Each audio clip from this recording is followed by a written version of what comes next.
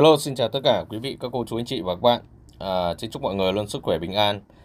À, cảm ơn cô chú anh chị và các bạn đã trò chuyện với Etam TV trên kênh uh, Etam TV. Hy vọng cô chú anh chị và các bạn khi xem video cho Etam TV xin một like, đăng ký kênh và chia sẻ.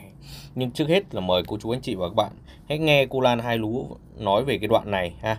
Chúng ta nghe đã, chúng ta xem là cô Lan đang nói gì đây ha. đúng không các bạn rồi các bạn còn nhớ không? Cái ngày mà tôi đứng ở ờ, ở ờ, thiền Am á tôi ờ, đón cô hằng đến á tôi giải thích một số bạn trẻ có một cái suy nghĩ sai về cuộc sống của các thầy. À, tôi cứ khẳng định là những gì họ nói là đúng đặt họ dựng đứng họ chỉ muốn trà đạp một ông cụ già 92 tuổi thôi. Đó chứ còn nguồn tin thì chỉ là nguồn tin nhưng lấy gì để làm những cái chính xác? Mà nhất là nói quan cho một ông cụ chỉ cả đời chỉ biết là người tu. Tuy rằng tu ở nhà cũng là người tu chứ đúng không các bạn? Chào ngân kim. Chào. Rồi cô chú anh chị và các bạn đã xem và đã nghe. à, cô Lan Hai Lúa nói rằng là cái ngày mà cái cuộc hẹn giữa Châu Nguyễn Phương Hằng và cha con Lê Tùng Vân thì bản thân ờ, cô Lan cũng có mặt. STM cũng xin xác nhận là bản thân ờ, cô Lan Hai Lúa hôm đó cũng có mặt nhưng mà cô Lan bịt kín lắm. À, và một điều hôm nữa là hôm đó ngay bản thân Diệp già và Diệp cũng có mặt. Nhưng cuối cùng thì uh, các nhân vật này cũng lặn mất tăm sau uh, cái chuyến uh, ghé thăm của Châu Nguyễn Phương Hằng. Nhưng nói một cách chính xác là không có ai giải thích cho chị Hằng cả về cái vấn đề tu của cha con Lê Tùng Vân cả.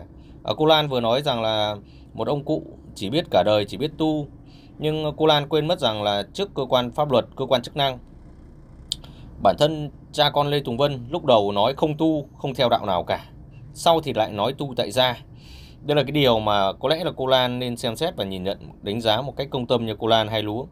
Thế còn đối với siêu Nguyễn Phương Hằng thì xin nói thẳng là chị ấy biết tổng tòng tong và chị ấy cũng chẳng cần ờ, cô Lan phải giải thích Đúng ạ, chứ không cần cô Lan phải giải thích trong cái câu chuyện đó là những cái mà bản thân siêu Nguyễn Phương Hằng ờ, đấu tố với cha con Lê Tùng Vân.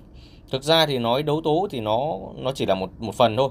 Nhưng đúng hơn là ở đó thì bản thân chị Hằng cũng đã uh, chia sẻ thậm chí là châm biếm về cái cách uh, ăn nói và tu học của cha con Lê Tùng Vân. Tại sao ư? Tại vì công ty Đại Nam, khu du lịch Đại Nam có rất nhiều đền thờ chùa và phải nói rằng là rất là đẹp. Theo đúng kiến trúc đỉnh chùa, thể hiện cái sự tôn nghiêm của đạo Phật. Ở đó nó còn có những cái mà Lê Tùng Vân đã từng bịa đặt ra là hoa ưu đàm. Có lẽ là cô Lan đã đến đã đến ờ, Đại Nam rồi hay chưa thì không biết. Nhưng nếu ai mà vẫn còn yêu quý cha con Lê Tùng Vân thì nên ghé xem là cái hoa ưu đàm ở tỉnh thất Bồng Lai nó có hay không. Và cái hoa ưu đàm ở Đại Nam nó là như thế nào? Đấy là những gì mà Tam TV muốn chia sẻ. Bởi vì trong cái câu chuyện này thì Tam TV thấy rằng là cô Lan hình như là đang đi đi cùng uh, luật sư của ai? Đi cùng luật sư ờ, của cha ờ, con, Lê Tùng Vân đó là hình như là nhóm Đào Kim Lân thì phải. Nhưng cái điều mà quan trọng nhất ở đây là khi cô Lan Hai Lúa đến thời điểm hiện tại nói chuyện thì có vẻ là đã từ tốn hơn và không dùng những cái lời nặng nề để xúc phạm về uh, vợ chồng bà Nguyễn Phương Hằng nữa điều này thì uh, xin được hoan nghênh. Thế nhưng mà chúng ta cũng hãy nhớ là khi chúng ta lên mạng xã hội chúng ta chia sẻ thì tốt nhất là chúng ta nên nói văn minh lịch sự. Chứ chúng ta không nên dùng những cái từ ờ, mất văn hóa và không có học. Uh, vì đó nó sẽ là cái mà đưa chúng ta đi xa uh, đi xa bất kể lúc nào đúng không ạ? À, trong cái câu chuyện này thì Tam TV muốn nói rằng là ở cái thời điểm hiện tại khi mà những cái câu chuyện liên quan đến vấn đề pháp lý, vấn đề pháp luật đó thì có rất nhiều kênh YouTube ủng hộ cho cha con Lê Tùng Vân ở thời điểm hiện tại đã xóa đi rất nhiều video. Cô chú anh chị và các bạn cũng đã thấy rồi đó. Bản thân những người như là ờ, vợ chồng Lê Minh bây giờ không dám ờ, không dám lên mạng xã hội chia sẻ và nói đúng hơn là to họng ừ, để nói về cái vấn đề của vợ chồng bà Hằng này, của cha con Lê Tùng Vân này. Đấy là những người đó. À, Hoàng Kim Dung cũng vậy. Cô chú anh, anh chị và các bạn à, cứ vào kênh của Hoàng Kim Dung là biết Ờ, đã thấy rằng là Hoàng Kim Dung đã không dám uh, mạnh miệng nói về vấn đề của vợ chồng bà Nguyễn Phương Hằng nữa. Uh, trước kia thì các anh các chị tôi thấy rằng là khi mà uh, cái câu chuyện nó bùng nổ và các anh các chị có hay là không có cái cùng quan điểm thì các anh các chị ngành nhảy ngược lên xúc phạm chửi bới người ta đúng không ạ rõ ràng là các anh các chị xúc phạm rất là nặng nề à, khi đó các anh các chị không chừa một ai cả. À, dùng những cái từ mà tôi thấy rằng là có thể nói rằng là một người già hay là những người đã làm mẹ thì không nên làm. Và các anh các chị cho rằng là bà Nguyễn Phương Hằng à, tấn công vào câu chuyện của cha con Lê Tùng Vân cũng như là các nhóm luật sư ờ, bên phía bảo vệ cho cha con Lê Tùng Vân thì luôn à, áp đặt một điều là bà Nguyễn Phương Hằng uh, phải chịu trách nhiệm có một phần trách nhiệm trong cái câu chuyện của của cha con Lê Tùng Vân. Khi mà làm ảnh hưởng đến những đứa trẻ nhưng thực ra thì các anh các chị đang đánh cháo khái niệm dẫn dắt dư luận đi quá xa. Khi đó là Lê Tùng Vân đã mời bà Nguyễn Phương Hằng. Còn bà ấy đi đâu? Đấy là việc của bà ấy. Đấy, còn người ta thấy hiếu kỳ thì người ta đến xem người ta đến quay. Câu chuyện đó không có gì cả. Xin thưa với tất cả mọi người. Tuy là nó có thể là nó ồn ào ở cái thời điểm đó nhưng chúng ta nên nhớ chúng ta phải nhớ một điều là không có nghĩa là chúng ta muốn nói cái gì thì chúng ta nói, đúng không ạ? Hoàng Kim Dung thì lên bênh vực cho cha con Lê Tùng Vân ở khen thầy ông nội thế này, thầy ông nội thế kia. Thế nhưng thực tế thì được bao nhiêu phần là đúng?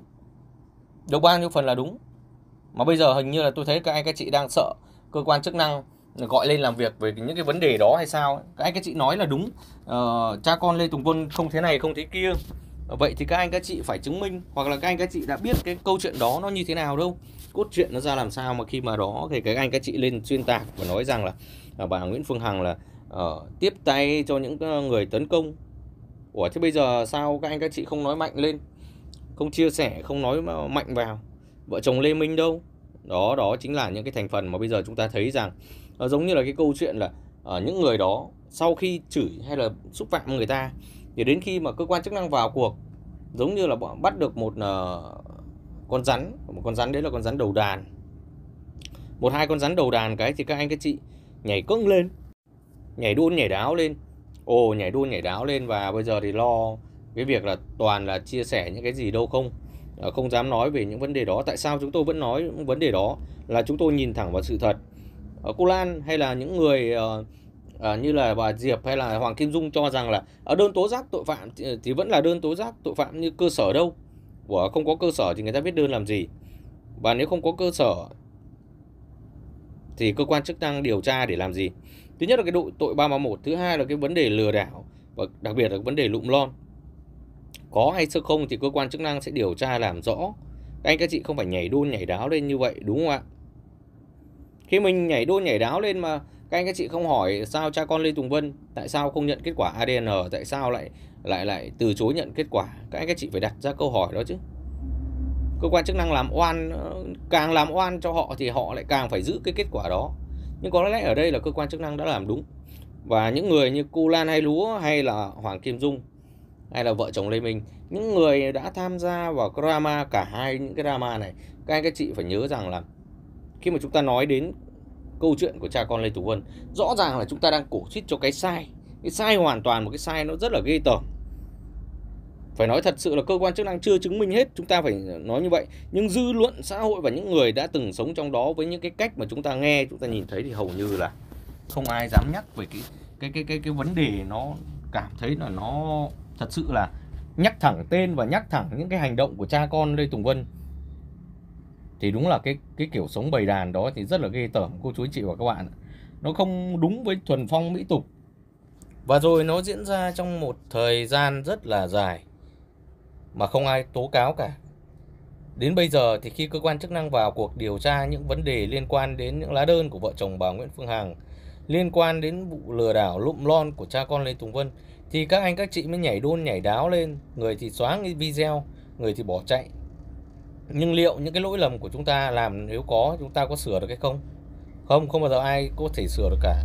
Cái quan trọng nhất là phải nhìn vào ở đây câu chuyện thực tế là cơ quan chức năng của huyện Đức Hòa cũng như tỉnh Long An đã bị những thành phần như cô Lan Hai Lúa và những cái nhóm giống như dạng Trần Văn Sĩ cũng như là Đào Kim Lân dẫn dắt, cộng theo đó là những kênh YouTube ủng hộ cho cha con Lê Tùng Vân bảo vệ cho những cái sai chứ các anh các chị không phải các anh chị làm sao mà nói chúng tôi bảo vệ cho cái sai được? Không phải chúng tôi không bao giờ bảo vệ cho cái sai.